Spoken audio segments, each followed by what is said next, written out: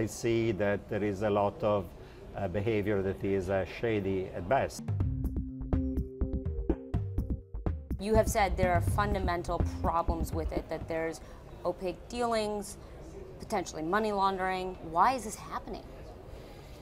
Well, you know, I'm a, just a minor collector of contemporary art. I do it not as an investment, but as a passion.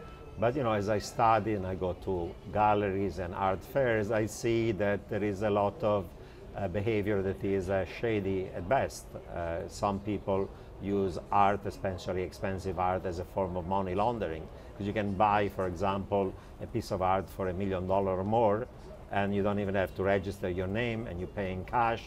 Uh, there's no tracking of it to the financial system, and you can park it into a free port uh, in Geneva or some other parts of the world. Other people use money, art again, for forms of tax avoidance or tax evasion. It's not a very transparent market where you have price transparency, and therefore, there, you know, the the brokers are getting a large cut out of it. There have been behaviors of auction houses that have been somehow uh, uh, problematic. So I would say, like any other market, you need a little more of price transparency, more information to make it more efficient.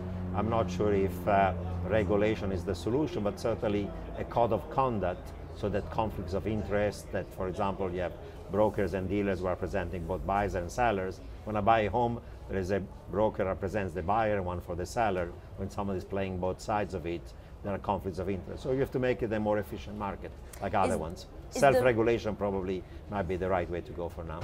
Is the rise in shady dealings in the art market, does that coincide with the crackdown of the Swiss banking market? Uh, there may be a correlation in the following sense. You know, if you want to avoid taxes or if you want to launder money, it's much harder today to do so because there is all this new regulation agreement between US, Europe, uh, with Switzerland about uh, uh, revealing the names and accounts of people who are putting money in their Swiss bank.